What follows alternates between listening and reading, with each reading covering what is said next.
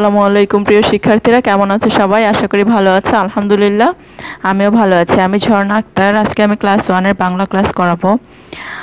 আমাদের যে এসব বাংলা শিখি বইটা আছে, সেই বইয়ের পৃষ্ঠা নম্বর নব্বই আজকে আমরা কি করব? পড়ব। দেখো, পৃষ্ঠা নম্বর নব্বই কি বলা হয়েছে? বাংলাদেশের ঋতু। আমরা জানি বাংলাদেশ ছয় ঋতুর দেশ। বারো মাসে এক বছর, আর এই এক বছরের মধ্যে কয়টা ঋতু থাকে? ছয়টা ঋতু থাকে। বাংলাদেশকে ছয় ঋতুর দেশ বলা হয়। আর এই ছয়টি ঋতু হলো গ্রীষ্ম, বর্ষা, শরৎ, হেমন্ত, শীত ও বসন্ত। আমাদের বইয়ে দেখো খুব সুন্দর করে ছবি দিয়ে বোঝানো হয়েছে। তো প্রথমে দেখো, এখানে একটা আমের বাগান দেখা যাচ্ছে। এখানে কি বলা হয়েছে? গ্রীষ্মকালে আম পাকে। তার মানে কি? গ্রীষ্মকালে কি? বিভিন্ন ধরনের ফল পাওয়া যায়।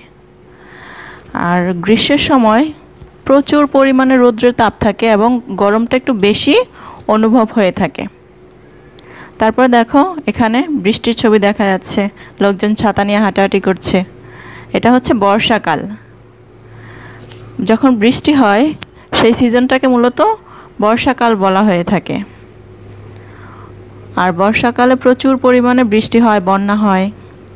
তারপরে দেখো এখানে কাশফুলের ছবি দেখা যাচ্ছে। বর্ষাকালের পরে মূলত শরৎকাল আসে আর শরৎকালে বিভিন্ন জায়গায় কাশফুল দেখা যায়। শরৎকালে কাশফুল ফুটে। এখানে দেখো কি সুন্দর কাশফুলের ছবি দেওয়া আছে। তারপরে এখানে দেখো কতগুলো লোক কী করছে? ধান কাটছে। শরৎকালের পরে হচ্ছে হেমন্তকাল।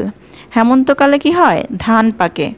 তখন গ্রামে বিভিন্ন ধরনের উৎসবের আয়োজন করা হয়ে থাকে। তারপর দেখো হেমন্তকালের পরে হচ্ছে শীতকাল। শীতকালে কি হয়?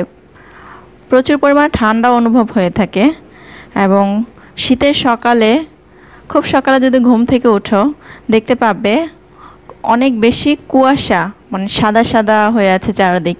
এটা কি কুয়াশা পড়ে তখন? আর সেটাকে কি বলা হয়? শীতকাল। শীতকালে মূলত খেজুর রসটা পাওয়া যায়, যেটা খেতে খুবই সুস্বাদু হয়ে থাকে। আর শীতকালের পরে হচ্ছে বসন্তকাল। বসন্তকালে কি হয়? চারিদিকে অনেক ফুল ফুটে এবং খুবই ভালো লাগে। তখন খুব বেশি ঠান্ডাও থাকে না, খুব বেশি গরমও থাকে না। ওই আবহাওয়াটা খুবই চমৎকার। এবং বসন্তকালে বিভিন্ন জায়গায় কি? বিভিন্ন গাছে কোকিল পাখির ডাক শোনা যায়। তাহলে দেখো, প্রিয় শিক্ষার্থীরা, এই যে আমাদের পৃষ্ঠ নম্বর নব্বইতে আমরা কি দেখলাম এখানে। ছয় ঋতু সম্পর্কে আমরা এখানে খুব সুন্দর কিছু ছবি দেখতে পেলাম। এবং এই ঋতুগুলো সম্পর্কে কিছুটা ধারণা পেলাম। তাহলে আমরা আবার পড়ি ছয় ঋতুর নামগুলো। দেখো, গ্রীষ্ম, তারপর কি? বর্ষা, শরৎ, হেমন্ত, শীত ও বসন্ত। গয়রফলা দীর্ঘ গ্রী মূর্ধন্য শয়ময় কি হলো? গ্রীষ্ম।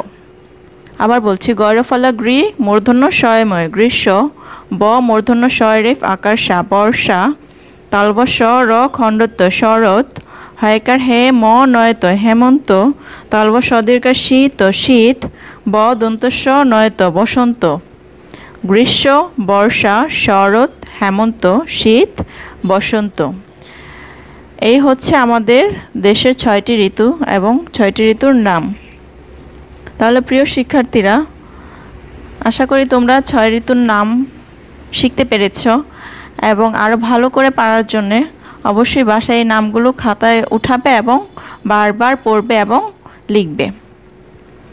ঠিক আছে, তাহলে ভালো থাকবে সবাই, সুস্থ থাকবে। আল্লাহ হাফেজ, আসসালামু আলাইকুম।